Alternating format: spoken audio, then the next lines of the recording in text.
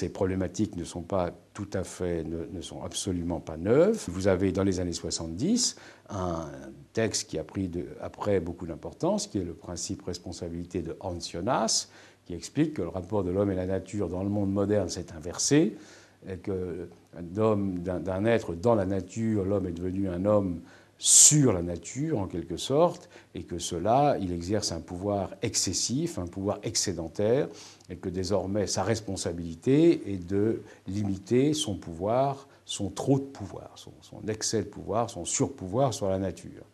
Maintenant, euh, je m'amuserai à dire que euh, on trouve des formulations absolument euh, proche de toute, de toute cette vision dans le solidarisme, dans les doctrines de la solidarité française de la fin du XIXe, chez Léon Bourgeois. Les doctrines de la solidarité sont déjà des doctrines du progrès, d'un progrès collectif qui a, où les hommes sont fondamentalement débiteurs.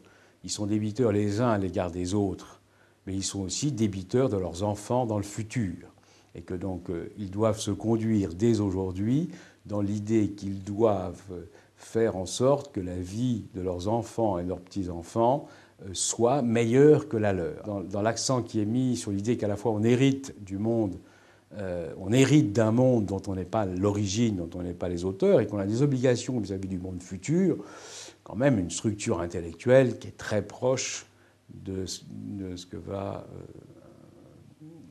introduire l'écologie. Quand vous parlez d'environnement, c'est une nature qui est liée, qui est, pensée dans une relation à l'homme. Et d'ailleurs, on pense moins à l'environnement en soi, pour son propre intérêt, que parce que le fait qu'on ne prenne pas en compte les exigences de l'environnement menace la vie humaine. Dans, le cadre de philosophie de la nature, l'homme est un être naturel, il est inscrit dans la nature, et il, a une nature comme les plantes ont une nature, comme, euh, euh, etc. Il est, il est dans la nature, il obéit aux lois de la nature. Vous pouvez toujours dire que les problématiques contemporaines de l'environnement sont l'actualisation du vieux débat de l'homme et de la nature.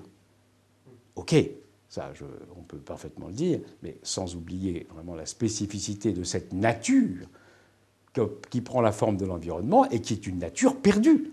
Parce que l'environnement, c'est une nature travaillée, c'est une nature dénaturée, c'est une nature perdue. Et le paradoxe, c'est qu'on pense qu'on va pouvoir la retrouver.